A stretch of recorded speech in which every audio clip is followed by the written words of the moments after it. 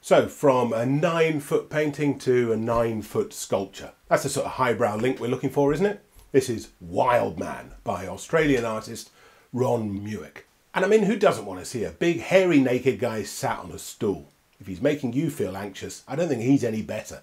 Look at him, his feet are pointed, his shoulders are hunched up around his ears. He looks so anxious. He looks like I think a doctor might be coming at him with a needle, or perhaps it's a barber with a pair of scissors.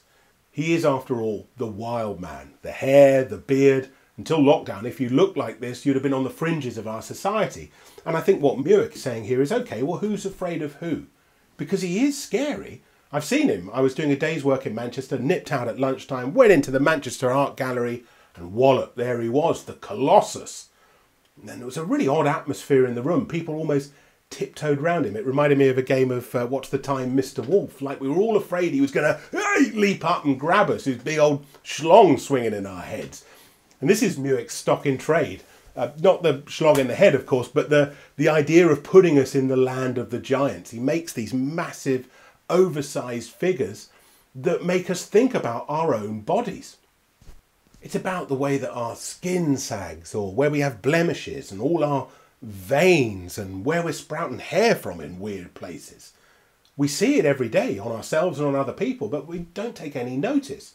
And the scale of these, whether they're his smaller figures or these oversized ones, stop us in our tracks and make us look at ourselves. And the results are quite grotesque. But that's us, I'm afraid. I mean, there's no photoshopping in Ron Mueck's world. I mean, I got a great butt, but if you took mine or Kim Kardashian's and blew it up to this kind of scale, the results are not very nice to look at, to be honest. And that's the point. This is us. This is us in all our, our glory, or lack of it. Wildman himself is inspired by a colossal stone sculpture of the river god Apennino, which is out near Florence in Italy. oh, that's something, isn't it? Now consider this. That was made in 1580. 1580 by a Renaissance artist called Giambologna. I mean, that is a good day at the office. I've never had a day like that. Back to work, back to Mueck.